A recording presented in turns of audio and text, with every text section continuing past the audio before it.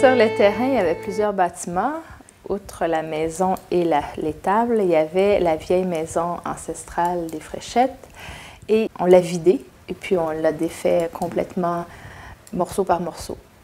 Non, le hangar, c'est ça. euh, Et c'était un vieux hangar fait de pièces et carrières. Et ce qui était particulier, c'était les coins. Les quatre coins qui soutenaient les poutres principales étaient composés des d'armes en, en L pour tenir euh, les poutres par rapport au mur. On les voit là, ici sur la photo. là. Alors, euh, c'était vraiment antique, ça. Là. Alors, on est allé à l'étable. Un gros travail de nettoyage avant de pouvoir euh, Wow. faire quoi que ce soit avec la grange. Fait que là, ça, c'est plus Patrick qui était en charge de. Du nettoyage. Les murs de la grange étaient d'un beau bardeau de l'asphalte bleu. Oui. Puis euh, heureusement, il y a eu un coup, une bonne tempête de vent.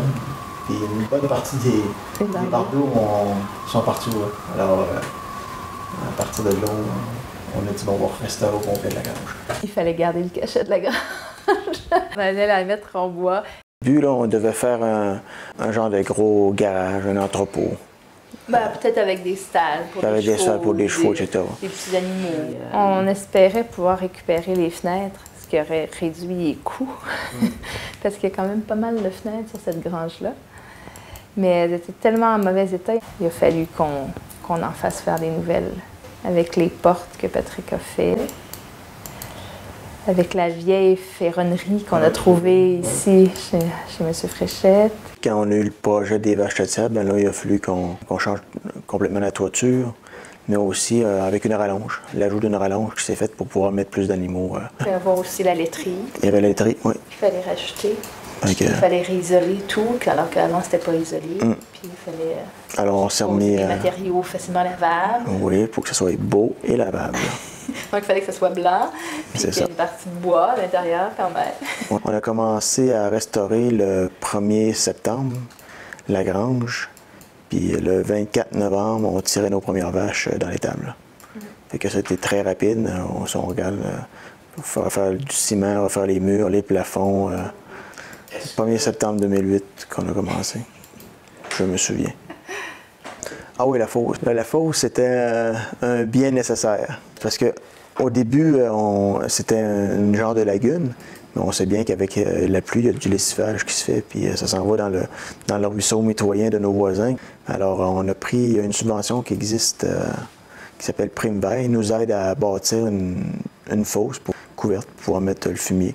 Non, on avait le choix au début couvert ou pas couvert, mais on a pris la décision de la mettre couverte parce que aussi pour avoir un bon voisinage. Au début, moi, j'étais un gars de Holstein, de vache, de race Holstein. Puis euh, la grange ne nous permettait pas, en tout cas, d'avoir euh, du confort pour les vaches de race Holstein. On s'était dit, moi puis Annie, ben, quand avoir des vaches, on avoir des belles. On a choisi la rage jersey. C'est une vache qui est très curieuse, très jolie à regarder. Les petits veaux, on dirait des petits chevreuils.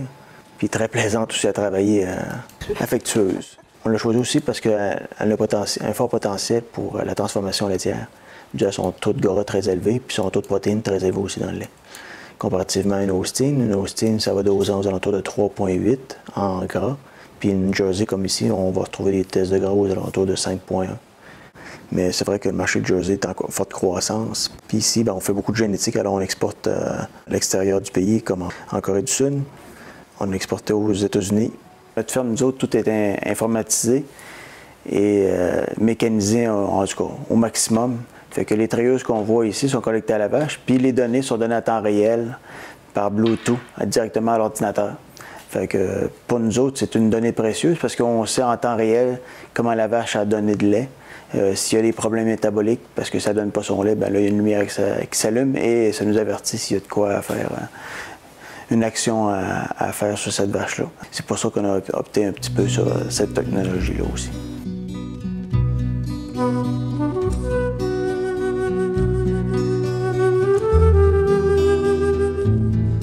C'est vraiment une maison qui, qui nous ressemble.